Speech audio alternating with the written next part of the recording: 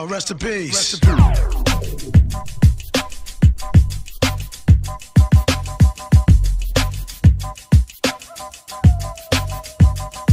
a.m. Just got out of the bar, headed toward my car. Me and Castro kinda blown, cause we parked so far. Walking down the street, spot a couple goonies on the creek, pocket full of cash, so we dash fast to avoid they ass, cause we know they trailin', now we on the run. Heavily inhaling, excelling as I begin to caress my gun.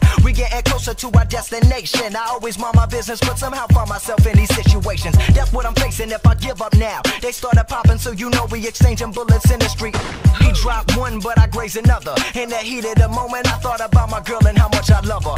To God that tonight wasn't my last supper. Cause they trying to spill my blood and break me for this bread. Motherfucker, take all this lead, yeah, that's what I said.